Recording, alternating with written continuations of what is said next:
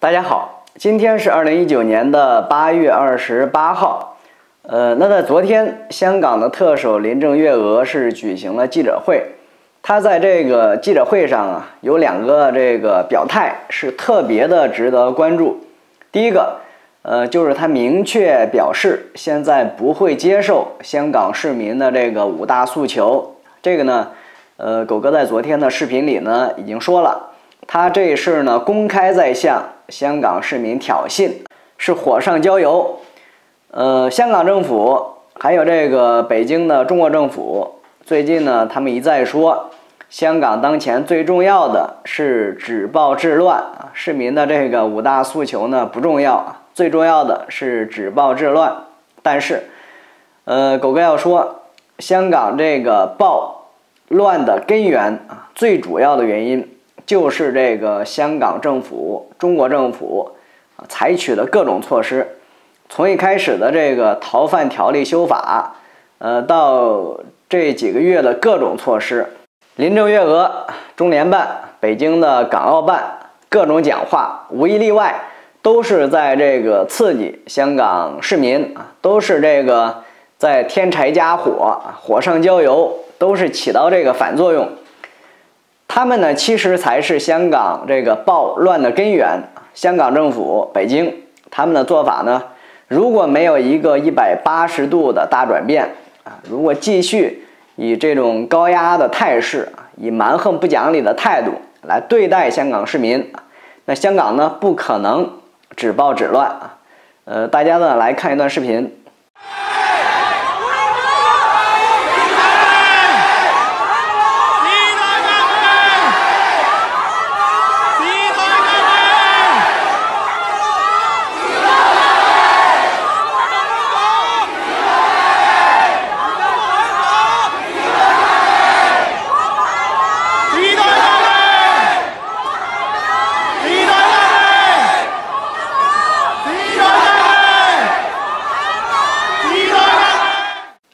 是香港人现在的一个新玩法，每天晚上这个十点整，大家呢就在自己的家里朝这个窗外喊“光复香港，时代革命”啊这个口号啊，或者是这个“香港人加油”这些口号，为自己鼓劲儿啊，为香港人鼓劲儿。这个呢就是民心啊，这就是香港的民心所向。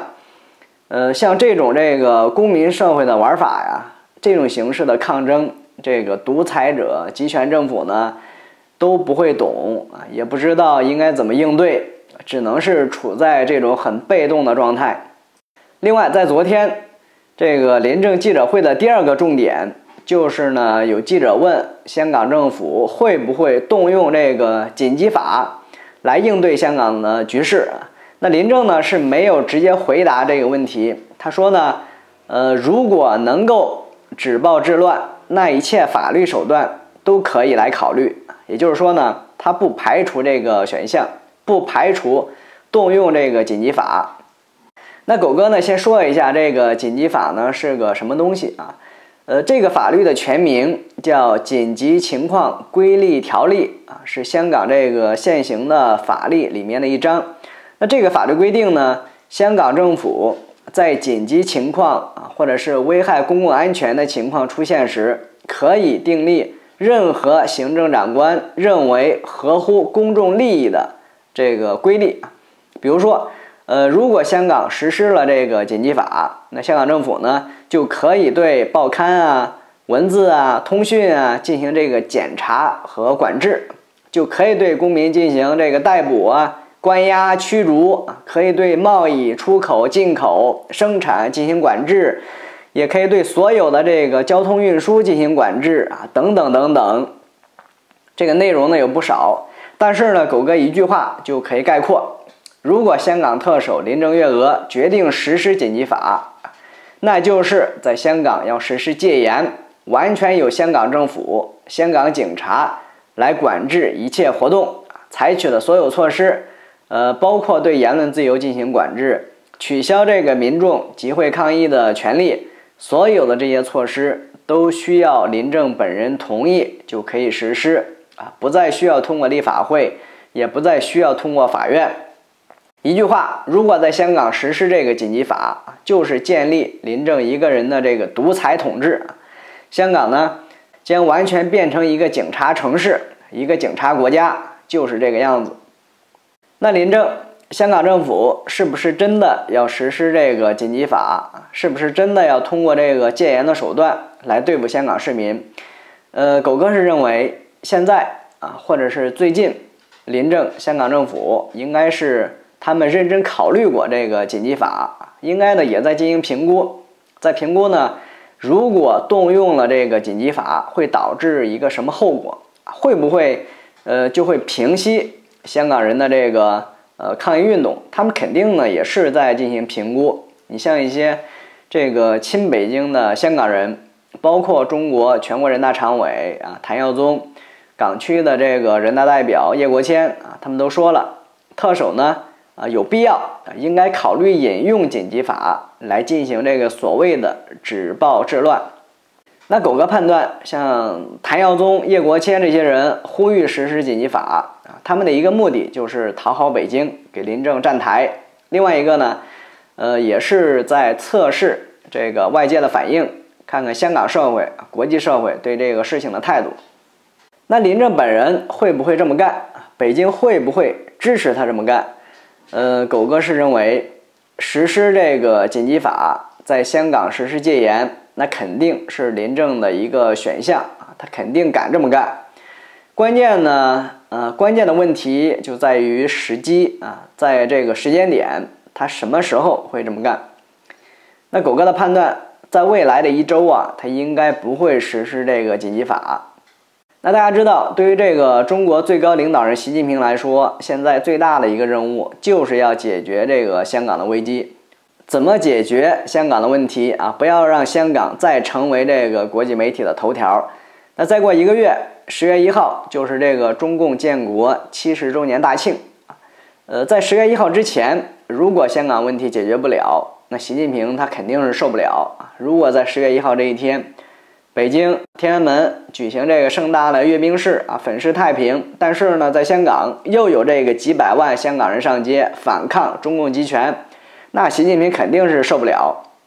所以呢，有报道说呢，习近平给这个林郑月娥下了死命令，要求在十月一号之前要解决香港问题。那狗哥认为这个报道呢，应该也是可信的啊。所以呢，呃，这个对于林郑来说是一个非常非常大的挑战。几乎呢是不可能完成的任务，即便是他实施了这个紧急法，要在香港实施戒严，但是不管是他本人，还是香港政府，还是这个香港的警队，即便是宣布了戒严，但是呢，他们也没有能力去完全压制住这个香港市民的反抗。为什么狗哥这么说？呃，香港的紧急法。它其实是殖民地时期的一条法律啊，是一九二二年制定的，用来对付当时的这个海员大罢工。然后呢，在这个一九六七年香港左派暴动的时候也引用过。就是说呢，在过去的这个将近一百年的时间里啊，这个法律在香港是使用过两次，都是用来对付香港的左派。那海员罢工的背后是当时的中国国民党，六七暴动的背后是中国共产党。一九二二年，港英政府呢是这个实施了紧急法，但是呢，最终呢是没有能够通过这种戒严的强力镇压的方式来平息这个海员大罢工。最后呢，呃，其实还是通过谈判协商的方式，满足了海员的一部分要求，才这个解决了问题。但是呢，在一九六七年六七暴动的时候，港英政府是通过实施这个紧急法，通过强力镇压，结束了左派的暴动。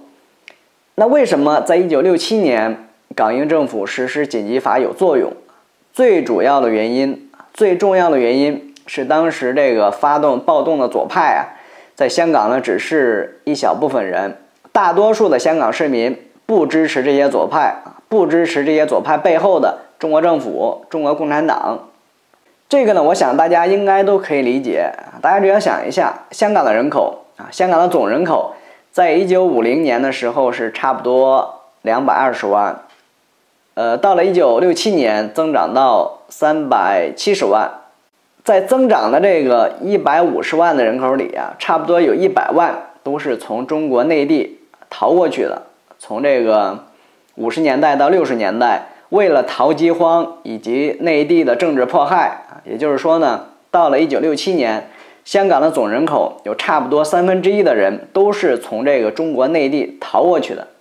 那大家就可以想象，那个时候的香港人，他们能支持中国共产党吗？会支持在香港搞暴动的左派吗？啊，那显然是不会支持。所以呢，呃，这个就是一九六七年港英政府实施这个紧急法能够平暴的基础，因为它有绝大多数香港市民的支持。那现在，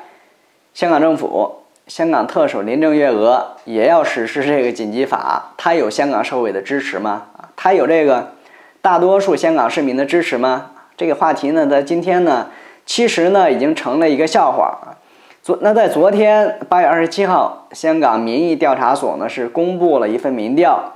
林郑呢现在在香港市民里的支持率呢只有百分之十七啊，反对率高达百分之七十六。呃，香港政府的支持率更低，只有百分之十四。大家说这么低的支持率，你还要实施紧急法，怎么可能成功？那在这儿呢，狗哥还想再多说一句啊，这么低的支持率，在殖民地的时候，在港英政府统治的时候都没有出现过。香港政府林郑月娥啊，丢不丢人？北京的中国政府啊，有没有感到丢人？啊，到底谁才是这个？香港问题的根源啊，谁才是这个暴乱的根源？其实呢，都是已经非常清楚的。所以说呢，即便是香港政府林郑在香港实施了这个紧急法，实施了戒严，也不可能成功，因为呢，这是要对全香港进行管制啊，对香港全社会要进行管制，没有大多数市民的配合，不可能成功。香港呢，只有这个区区几万名警察，怎么去完全控制？七百多万的香港市民不可能的。林郑如果真的是立定智昏，如果真的是要在香港实施这个紧急法，只有两个后果：第一，香港会出现这个越来越多的暴力事件；第二是大规模的这个公民不合作运动。那香港呢，呃，也会继续成为国际头条。习近平的这个十一大庆啊，也就别想办好了。另外，呃，林郑如果在香港实施戒严，那国际社会针对香港政府、针对中国政府的制裁都会这个陆续出台啊，因为这是，呃，大规模侵犯人权的行为啊，是一条不归路。那最主要的制裁肯定会来自这个美国啊，呃，再过差不多半个月，呃，九月九号，美国国会呢就要结束休假，就要复会，他们呢很有可能会通过这个《香港人权与民主法案》，这个法案一通过。就会要求美国政府制裁侵犯人权的这个香港政府和中国政府官员。那美国总统川普呢也会支持这个法案。以前呢，川普他本人呢对香港问题呢还不是特别关心，但是呢最近，由于习近平在贸易战里呢让川普很不爽啊，他已经改变了态度，更多的关注香港，而且呢把香港和这个贸易谈判挂钩啊。其实呢这个也是香港市民努力的一个结果，香港人的抗争。是正在获得国际社会越来越多的这个关注，越来越多的这个国家的民众啊，都在关注香港，都在支持香港。另外呢，如果林郑在香港搞戒严，那除了美国、英国、欧盟，所有的这个文明社会、民主国家都会考虑这个制裁行动，因为呢，这其实呢是对所有文明世界的挑战，威胁到了所有文明社会的这个生活方式，所以呢。这个民主国家呢都会做出反应啊，很多中国大陆的朋友呢可能不太理解这一点儿，可能也不会相信，觉得这些小破国家能把香港怎么样啊？能把中国怎么样？那狗哥呢就建议这些朋友呢，呃，去这个谷歌一下国际社会对俄罗斯的制裁，去看一下这个，呃，俄罗斯侵略乌克兰、吞并这个克里米亚半岛之后，俄罗斯政府啊，很多的这个俄罗斯的个人、公司。遭受这个国际制裁的情况，那香港政府、中国政府的高官有这个太多的人的资产和利益啊，都在文明国家，都在美国，都在欧洲，在加拿大、澳大利亚，所以呢，真的是有太多的这个可以制裁的对象。那狗哥不认为他们完全不怕啊，狗哥不认为他们就为了支持习近平，就愿意呢让自己的后路啊，自己以后的退路被这个完全切断。所以呢，在这个最极端的情况下呀，香港政府临政会实施这个紧急法，但是这个呢是在最极端的情况下，也是它的最后一步。好了，今天就聊这么多。如果你喜欢狗哥的内容，现在就点击屏幕上的狗狗图标订阅狗哥的频道。咱们明天见，拜拜。